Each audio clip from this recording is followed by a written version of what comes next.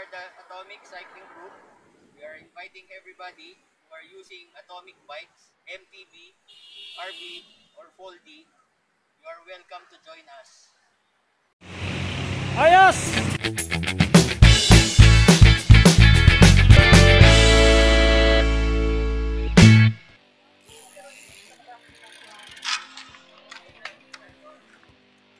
Hi, I'm Joffrey. Uh, almost 4 years na ako nagbabike. Una kong bike, MTB. Then shifted to RB. Then ayun, nakilala ko ang Atomic. Ako pala si Jerry Nales, membro ng Atomic Cycling Team.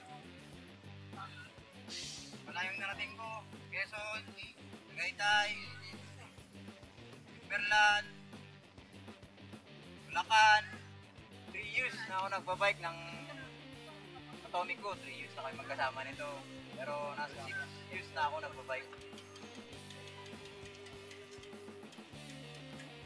Ako nga pala si Ron. Member ng Aton Group. At 3 months na ako nag uh, bike. Sa ngayon, nakarating ko. Ah, dito lang meron lang sa Okada. Pati sa MOA. Hindi pa ako ganong lumalayo dahil ko ng 30 pataas na o kaya 35. Maraming salamat.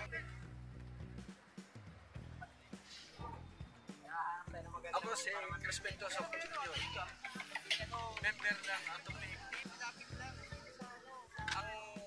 Ang nagsimula ako mag-bike 1997. Ang hindi ko makalimutan sa aking experience sa bike. Nung sumali ako sa Karama, Karamangan Peninsula. Ito ang aking bike. Atomic din. Kaya, ah, nagsimula ako sa pagbabikings noong lockdown last May. So, nakahiligan ko din mag-bike. Kasi, makaka-exercise ka. Ang malayo ko napuntahan is around Metro Manila lang muna kasi malayo pa tsaka hindi ko pa pa kaya eh. Once again, po si JD Lavilla.